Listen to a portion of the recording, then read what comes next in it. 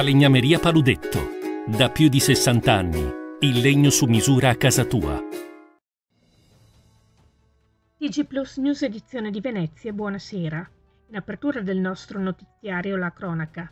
I carabinieri di Verona verso le ore 13 di oggi, giovedì 14 settembre, hanno rintracciato e fermato nel centro di Favar Veneto l'uomo ritenuto responsabile della morte di Massimiliano Bincoletto, aggredito il 25 agosto scorso a Verona e morto l'8 settembre all'ospedale di Borgo Trento, dove era stato ricoverato.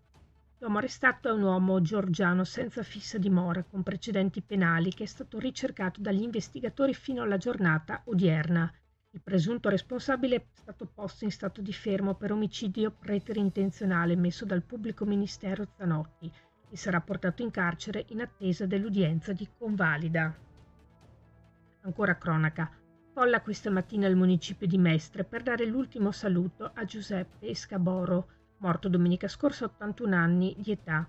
Scaboro, entrato giovanissimo come operaio all'Ilva di Porto Marghera, ha partecipato attivamente alle lotte sindacali degli anni 60, operando all'interno sia della FIOM che della Filcea e dello stesso PC. La sua attività si è poi spostata gradatamente sempre più in ambito politico, all'interno della segreteria regionale del Partito Comunista per poi passare, una volta sciolto quest'ultimo, all'interno del PDS.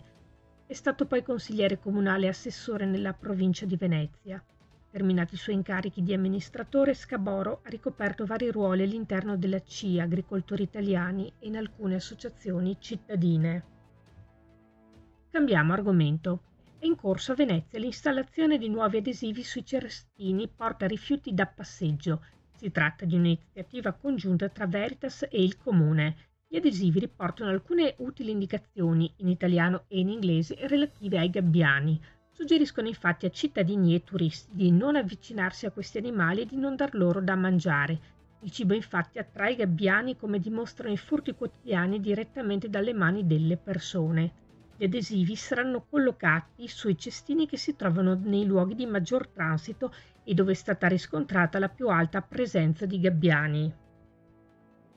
Ci spostiamo a Jesolo, dove da qualche giorno è attivo un nuovo servizio di noleggio in condivisione di monopattini elettrici e biciclette. Il servizio sarà disponibile per tutto il mese di settembre 2023 e per l'intera stagione estiva 2024 e viene svolto dall'azienda DOT. Per poter noleggiare veicoli in sharing è necessario scaricare l'app DOT dagli store sul proprio smartphone e registrare un profilo utente personale. Il servizio è rivolto soltanto ad utenti maggiorenni.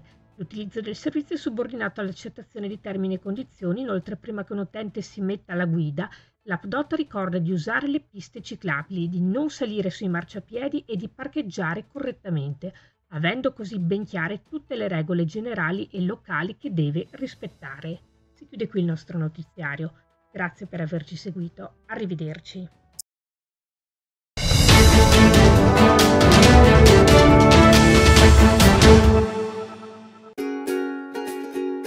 Falegnameria Paludetto. Da più di 60 anni. Il legno su misura a casa tua